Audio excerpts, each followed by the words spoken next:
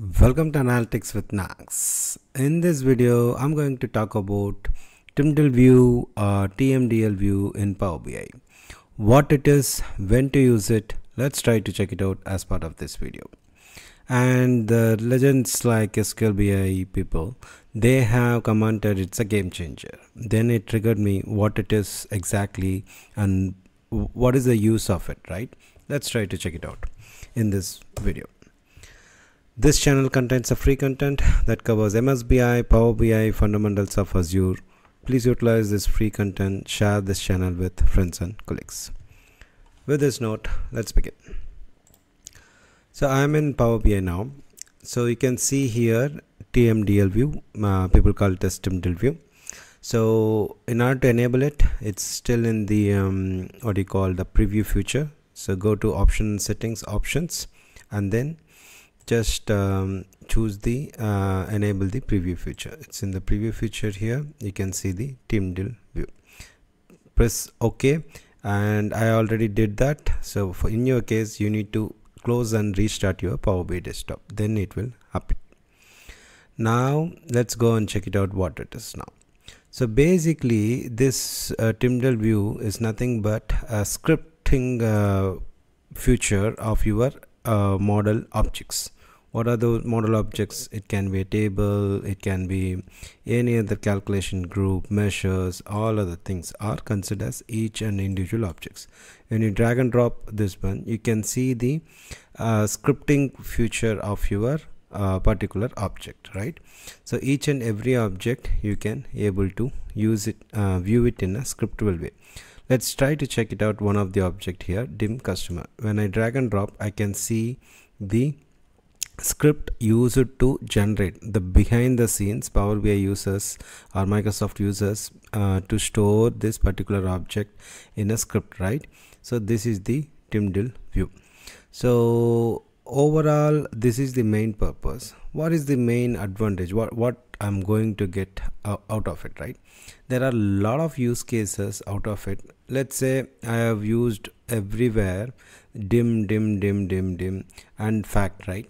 I want to replace it because uh, someone who is in the business once you're initially developed and uh, they're trying to analyze they don't want what is this dim dim fact. They don't like it. They want to replace. So in order to do this right now either you need to write a power query some functions complex things right? But always we prefer copy paste or replace function. Right now in this view it is not possible. Earlier now in the TMDL view you can script an entire model. You can see here. You can right click here script entire model to the clipboard then just use the control H future find and replace. The dim can be replaced with any other name. Let's say dim I'm finding it right.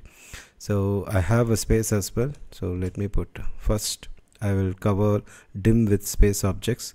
Then I'm replacing empty just do the replace all. That's it.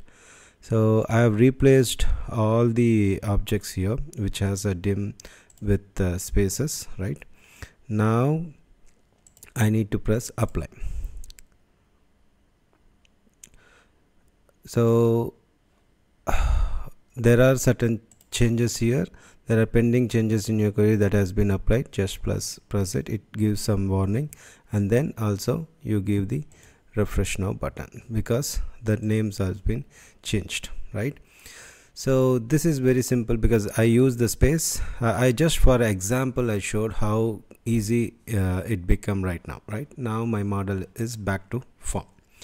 So uh, this is one such a example how quickly you can deliver the things. Earlier it took long time for you to do the same thing. That is the enablement. Let's quickly check other um, uh, functionalities over here. So right now this is the view. Once you come here you can drag and drop certain objects or entire model you can drag and drop. Then you can use the uh, features here. There are certain things you can uh, do here like you can minimize these uh, measures uh, so that it will be in a graphical uh, I mean it will be reduced uh, space so that you can view it in a simplest way. This is another uh, important feature. And you can see it is uh, properly formatted with the different coloring uh, measures right? That for the user user friendly uh, visualization. I mean it's for very easy to understand and read. Now it defines a column this is the status and column and i mean this is the column name the column and the what is this uh, um, what is this all about? Order type name is the column and data lineage. So you can easily able to differentiate. This is all about the futures let's try to summarize what are there are a lot of documentation about this. Whatever i explained in this two to three minutes uh, all about um, this um, tmdl scripts. There are other important aspects like common use cases of the tmdl so now i use the same thing. Dim is replaced with spec. This is the fundamental problem earlier from the beginning so that's why this is quoted as the first scenario. And then you need to create a perspective uh, using this method you can able to create the perspective. Then I need to modify the power query expression of my table without triggering a refresh. So let's try to check it out. What is the scenario I'm they're talking about? Let's see here. I have a customer right? The customer table. I have an email which is the derived column here. So earlier um, if you see the email name right at the bottom this is the um, email name uh, which is having the uh, what uh, it has to be defined. Now I can able to remove this column right? I can modify it uh, based on my choice. So that is what uh, it speaks about. Let's say I, I don't want this column anymore. I can do the apply here.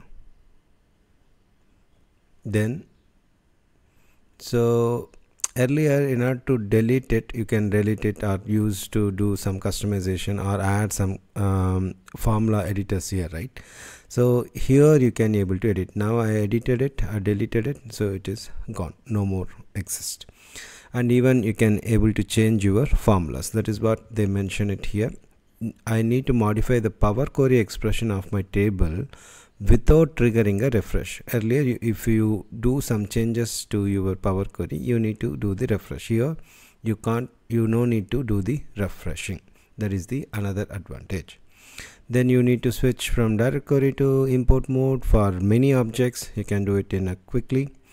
And that's it. So these are some of the key uh, purposes you will go for it from my perspective another important thing i could see is like let's say you are storing your you are doing a mass changes in your uh, power bi file right? Multiple changes. Before that you want to be safe. You want to take a backup right? So what i will do is i will go here and do the script tab I will take the entire script and put it in a notepad. Earlier if it is let's say it is a 4 GB or 2 GB file when you remember when you are developing a Power BI file you load all the data over here. Working with the large model is become so complex in order to do the backup restore everything. Instead what I will feel is going forward we need to start using the TMDL that is the another main purpose. You can take the entire model script and put it in a notepad or any other TMDL format itself. Then you can see here it takes only 30 KB only instead of storing the 2 GB 3 GB entire file. So by which what I will benefit here is if something goes wrong when I do the mass changes I taken backup I do a lot of calculation change relationship change something goes wrong I can quickly revert back to this version. Just copy this content previously backed up and paste it. That's it. Then I will get the entire code again. Then once I apply it this will refresh. So I hope you understand um, why uh, this particular um, uh, future is told as a game changer. Because you can enable quick development and you can have um, uh, like many products can be quickly delivered. I hope you like this video. If you are um, new to this channel hit the subscribe button and press the bell icon for notification. And do remember that data is your asset